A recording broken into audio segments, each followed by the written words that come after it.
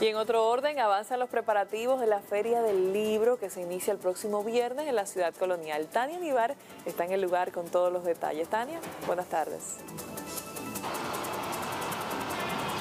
Muy buenas tardes. Aquí en la zona colonial avanzan los trabajos en el montaje de la versión número 22 de la Feria Internacional del Libro. Aquí como se observa, los trabajadores están laborando aceleradamente para concluir estas, estas carpas que ven que se están construyendo, donde estarán pues las instituciones estatales y también algunas librerías que participarán en esta fiesta de la cultura aquí en el país la cual se desarrollará a partir de este viernes 26 hasta el 5 de mayo. En toda esta zona colonial mucho trabajo, mucho ajetreo, pues estamos a ley de dos días para que inicie la Feria Internacional del Libro.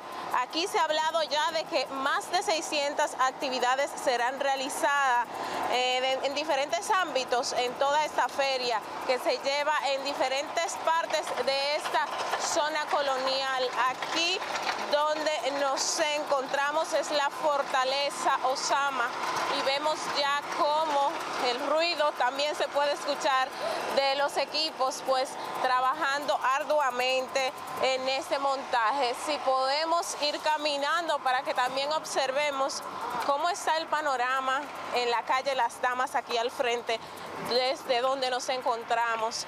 Aquí hay muchos trabajadores, personas que salen y entran a cada rato, pues están trabajando duro, pues falta mucho trabajo por hacer todavía para pues tener el montaje listo de esta feria.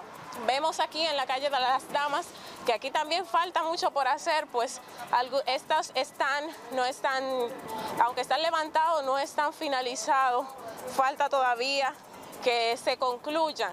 Así estaba hace unos días también que estuvimos por aquí.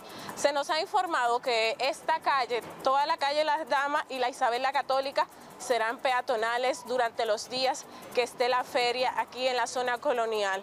El tema del parqueo es una preocupación, pues sabemos lo difícil que es estacionarse en esta zona colonial. Se nos ha informado también que se dispondrá de parqueos en algunos lugares como en Sosí, también en la Plaza de la Cultura y se dispondrá de autobuses para que las personas puedan trasladarse hasta aquí. Nosotros eh, también hemos verificado que mucha gente ah, desde ya se observa que se dificulta el tránsito por esta avenida que serán peatonales, al igual que la Isabel la Católica, esta calle durante esta festividad. Así andan las cosas aquí, así que a prepararse, si viene aquí durante esos días, es preferible, según el Ministerio de Cultura, venir en vehículos públicos o también en taxi para evitar pues eh, algún inconveniente con el tema del parqueo. Muchas gracias, Tania Nibar.